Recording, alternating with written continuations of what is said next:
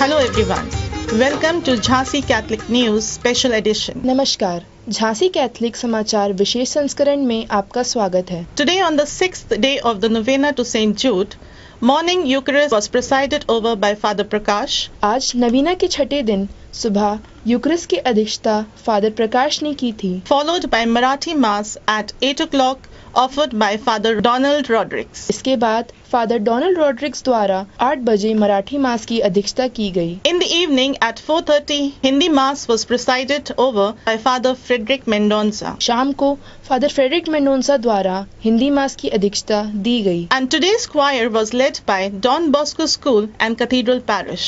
और आज के गायक मंडली का नेतृत्व डॉन बॉस्को स्कूल और कैथीड्रल ने किया था The Bhandara was sponsored by Melray and Abigail Morris, Stephen Mendonça, Roy Matthews, and Princey Roy. आज के भंडारे को Meryl Abigail Morris Steven Mendonsa Roy Matthew तथा प्रिंसी रॉय के द्वारा प्रायोजित किया गया था। Healing prayer service was conducted by Father Sadanand. विशेष प्रार्थना सेवा में फादर सदानंद के द्वारा आयोजित की गई थी। In the evening mission mela was conducted in the shrine campus और आज शाम के समय मंदिर परिसर में मिशन मेला का आयोजन किया गया था।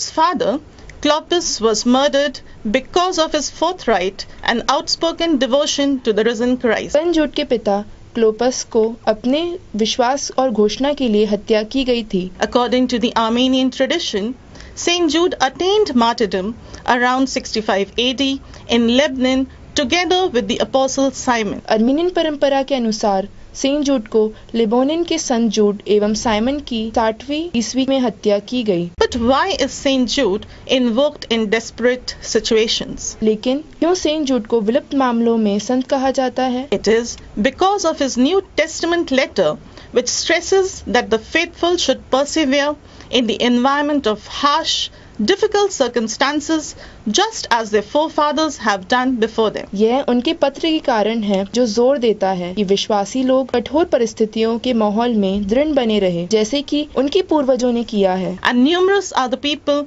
who found consolation through the intercession of St. Jude. और कई लोग उन्हें जिन्होंने संत जूड की मध्यस्थता के माध्यम से सांत्वना पाई है That's all for now. Thank you. आज के लिए बस इतना ही जय यीशु